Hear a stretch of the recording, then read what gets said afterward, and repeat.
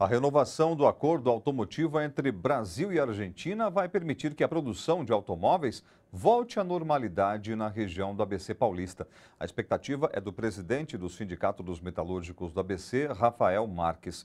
Durante um ano, automóveis brasileiros e argentinos vão ser comercializados entre os dois países com isenção de imposto.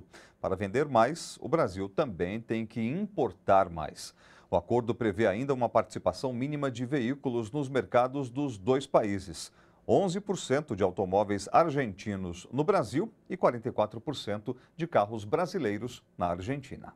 O acordo prevê que para cada um milhão de dólares em carros e peças compradas da Argentina, o Brasil poderá exportar um milhão e meio para o país vizinho sem imposto.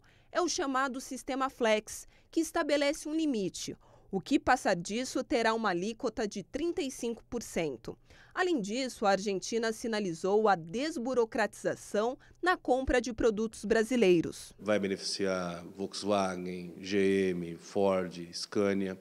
Todas as empresas é, aqui da região têm fortes relações com a Argentina. O ABC é um grande exportador é, para a Argentina, não só de automóveis, mas muito de automóveis. Então, é, é uma coisa importante para o ABC inteiro e para todas as montadoras que têm negócio aqui no ABC. A Argentina é o maior parceiro comercial do Brasil.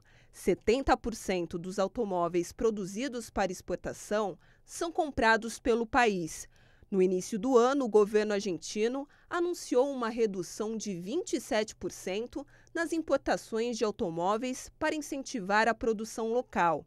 Essa medida impactou a produção e as vendas dos automóveis produzidos no Brasil, principalmente na região do ABC.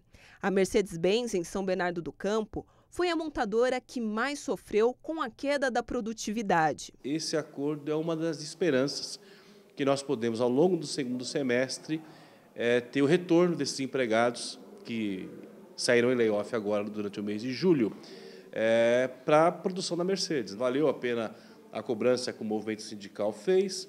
É, valeu, valeu muito o esforço do governo Dilma em resolver a equação com o governo argentino